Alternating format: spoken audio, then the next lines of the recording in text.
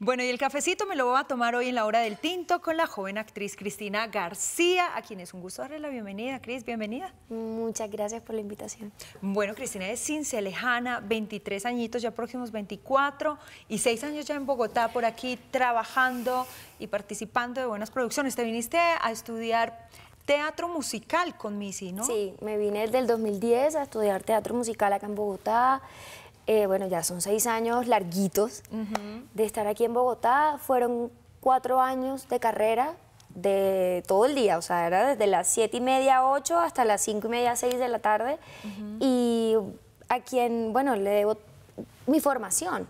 Eh, ahora tengo muchas ganas de seguir formándome, quiero viajar, ir a España y estudiar, pero digamos que donde empecé, donde crecí, donde me formé fue ahí. Fue ahí con Missy, que tantos jóvenes pues ha formado eh, en este campo. Tú ya te fuiste por el tema de, la televisión, te hemos visto en varias producciones nacionales. Cuéntanos cuál ha sido, ahora mismo estás como Isabelita en La, Esclava, Blanca. Ya vamos a hablar de ese personaje. Antes, eh, danos un repaso un poco de las producciones en las que has eh, participado, entre ellas La Fiesta del Chivo, que fue para, este es internacional. Sí, La Fiesta del Chivo, que fue la grabé en el 2014. Eh, bueno, un honor estar ahí porque premio Nobel, que es Mario Vargas Llosa, y estar en una obra tan representativa de, él, me, parecía de verdad que un honor estar ahí e interpretar el personaje de Urania Cabral, que personaje bastante, que tiene, bueno, empieza todo como color de rosa, pero luego le da un giro chévere y fuerte y dramático al personaje. Eh, estuve en El laberinto de Alicia, que también fue una serie muy chévere donde tuve la posibilidad de poder hacer de rola, que pues para mí es un reto, bueno, como costeña. Claro, pero digamos que como actriz, esa es, eso es como lo chévere de nosotros, poder jugar y poder ser alguien que no somos nosotros y entre menos se parezca mejor. Claro, y ahora estás como la hija del antagonista, del malo de la novela, pero tú no, tú estás muy alejada de eso. ¿Cómo has sentido ese personaje que es un poco blanco también porque eres amiga de la esclava? Sí, eh, bueno, ella es se vuelven amigas, pero en realidad es la madrastra, porque la esclava blanca, que es Nerea Camacho, Victoria, se casa con Nicolás. Entonces se vuelven amigas porque Isabel, mi personaje, se queda huérfana de mamá como desde los ocho años y encuentra finalmente como esa compinchería y poder contarle cosas de mujer a, Victoria. Entonces, es un personaje complicado porque es completamente ajena al principio a toda esta maldad que está alrededor de, de su casa, del Edén. Eh, y ya cuando se empieza a dar cuenta que ya los televidentes se han podido dar cuenta porque ya estamos próximos a terminar, la otra semana más o menos terminamos, eh, cuando ella descubre el monstruo que tiene de papá, Isabel crece. Isabel ya se quita como este, eh, como una máscara que tenía y empieza a ver las cosas y empieza a darse cuenta de la esclavitud, empieza a darse cuenta de las injusticias. Tiene su hermano que es Miguel, es negro, pero ella no entiende el por qué si es negro, qué tiene de malo, ¿sabes? Entonces, eso es muy bonito, pero es muy difícil para ella porque es su papá, o sea, está haciendo algo que va en contra de lo que su familia cree que está bien o mal, una locura, pero es un personaje que definitivamente marcó mi vida profesional y mi vida personal. Una muy buena historia que hemos seguido también a través de la pantalla nacional y bueno, en la que tú haces parte. Eh, ¿Cómo has sentido eh, el tema del cambio de cultura? Tú eres costeña de Cincelejo, eh, naciste ahí, a los 17 te viniste para Bogotá. ¿Cómo, cómo te dio el, tema de comer diferente, el clima diferente, la gente? ¿Ah? Bueno, casa es casa así tú te vayas a una ciudad dos horas, uno siempre va a extrañar su casa. Bueno, soy hija única, entonces digamos que el, tener que llegar de pronto sola a un apartamento o compartir no era de pronto tan duro porque como soy hija única me crié sola en gran parte, entonces sabía cómo manejar ese tipo de soledad, por decirlo así. Pero ya cambiar el ambiente de eh, Cincelejo es una ciudad muy pequeña, es una ciudad muy tranquila.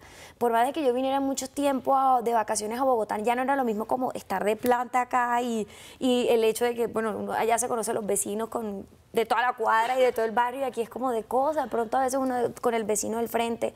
Ese tipo de cosas me parecieron diferentes, mas no me chocaron, ¿sabes? Y Bogotá ha sido una bendición para mí porque Dios me ha abierto las puertas acá. Entonces, decir que, que, fue duro, puedo decir que no fue tan duro, No porque tan duro. Bogotá me recibió tan bien que en realidad sí. Es que hay unos que no se adaptan, ¿no? Obviamente el, el tema del clima, el ambiente, la energía del costeño es diferente, Es diferente. a la del interior y hay unos que no, no, pueden con eso Yo tengo amigos, se devuelven. Sí, yo tengo amigos que no se adaptan y no se han adaptado y tengo muchos que se devolvieron, pero es que yo, es que para mí Bogotá es como la ciudad de todos. Sí, claro. Entonces es muy bonito porque Bogotá te brinda de todo y te, te abre las puertas. eh, hay de todo para hacer, hay, de, hay todos los campos laborales para poder emprender y para poder lo que quieras.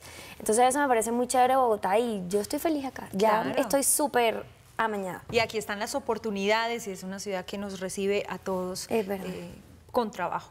Y la queremos mucho, por supuesto. ¿Cuáles son ahora tus, em, tus planes, Cris? ¿Vas a estudiar? ¿Vas a, a- ¿Tienes un proyecto en mente? Bueno, estamos a la espera de, antes de la, de la Esclava Blanca estoy grabando una serie también con Caracol, no sabemos cuándo, cuándo se lance, no sé si puedo adelantar algo, pero... La casica, ¿no? Sí, Que ahí está, también ahí hemos sabido de esa buena producción. Cuéntanos un poquito qué hiciste allí. Bueno, la casica es, como Ahí todos sí saben, es ser de costeña. Sí, Ahí ahí, sí volví a todo tu hacerle el honor a mi, a mi región.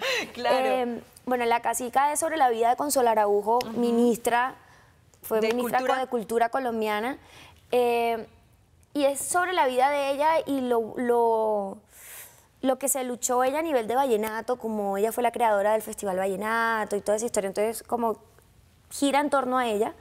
Y mi personaje se llama María Lourdes y soy su cuñada en la etapa joven.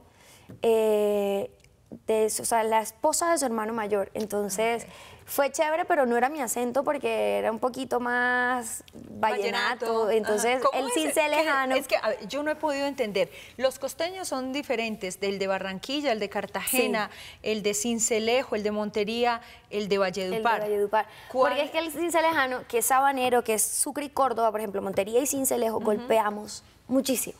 Ah. Yo no mucho, pero cuando me junto con gente de Cincelejo, sí se me Ahí se te sale. pega.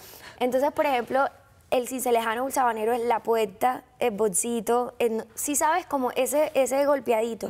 Y el vallenato canta más y ellos no golpean. Entonces, a mí no se me podía salir verde. No. O sea, no. Eso O sea, que era. tuviste no. que Claro, en el entonces acento. me tocaba como. eh, y, el, y el vallenato es un poquito más cantado y ellos te hablan un poquito más así, ve. Y tal. O sea, es un poquito más suave. El bemari, pero no sé. Es, un, un- es más suave, es muy lindo.